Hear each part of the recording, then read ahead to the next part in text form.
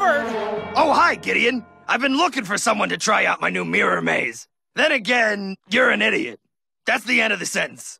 You come back here! Try and find me, twerp!